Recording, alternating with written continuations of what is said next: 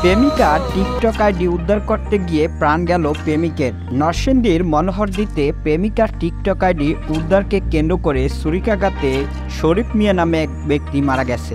বৃহস্পতিবার আঠারোই মে বিকেলে ঢাকা মেডিকেল কলেজ হাসপাতালে চিকিৎসাধীন অবস্থায় তার মৃত্যু হয়।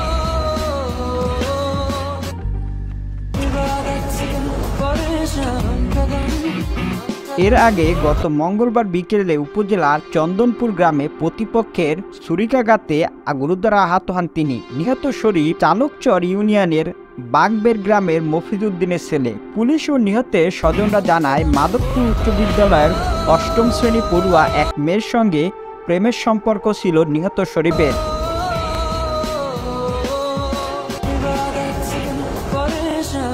শরীফ প্রবাসে চলে যাওয়ার পর চন্দনবাড়ি ইউনিয়নের চন্দনপুর গ্রামের আতিকুল ইসলামের ছেলে শাকিলের সঙ্গে প্রেমের সম্পর্কে জড়ায় মেয়েটি।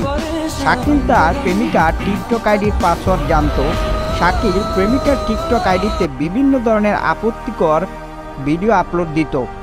এ নিয়ে প্রেমিক শাকিল ও প্রবাসপ্রদ প্রেমিক শরীফের মাঝে দ্বন্দ্ব তৈরি হয়।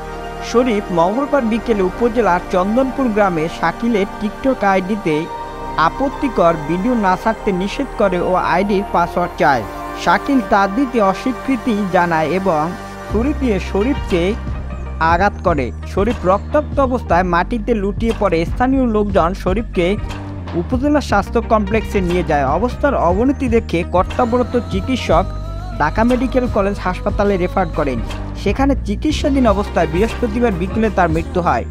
নিহতের বাবা মফিদুদ্দিন বলেন, ছেলেকে নিয়ে অনেক স্বপ্ন ছিল। চুরির আঘাতে সব শেষ হয়ে গেল। আমার ছেলেকে যারা হত্যা করেছে, তাদের বিচার চাই। এ বিষয়ে মনোহরদী থানার ভারপ্রাপ্ত কর্মকর্তা বলেন, প্রেমের ঘটনার জের ধরে এই ঘটনা ঘটেছে। ঘটনার পর নিহতের চাচা মহিউদ্দিন বাদী হয়ে শাকিলকে প্রধান আসামি করে ছয়জনের বিরুদ্ধে হত্যা চেষ্টার মামলা করেন।